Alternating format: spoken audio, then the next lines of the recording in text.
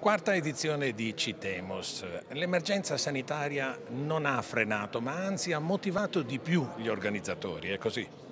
È così per due motivi. Il primo è che abbiamo voluto dare un segno di ritorno alla normalità e di condivisione anche con ciò che stiamo, che stiamo vivendo, per cui questo è un momento di approfondimento importante, ma ha a che fare anche proprio per, con l'emergenza sanitaria perché ci impone di rivedere tutti quelli che sono i criteri non solo della mobilità ma dello sviluppo sostenibile, ma anche di quelli che sono i criteri della Smart City in una nuova chiave, ma soprattutto con una grande accelerazione per quanto riguarda per esempio la digitalizzazione. Ecco, se l'emergenza Covid ha accelerato eh, l'adozione di nuove soluzioni, soluzioni per la comunicazione che contribuiscono anche ad una mobilità sostenibile, questo ha messo in luce anche ulteriormente carenze infrastrutturali. Beh, io non oso pensare cosa sarebbe stato il lockdown senza internet. Internet ci ha dato la possibilità di rimanere collegati con il mondo, non solo da un punto di vista del business, ma anche dal punto di vista delle relazioni umane, delle relazioni sociali, anche